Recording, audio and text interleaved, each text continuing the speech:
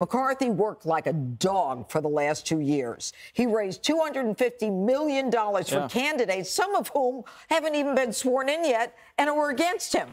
I mean, this guy has done everything he could. Whether you like him or you don't like him, you know, it's time to get together as a party and stop embarrassing yourselves in front of the rest of us.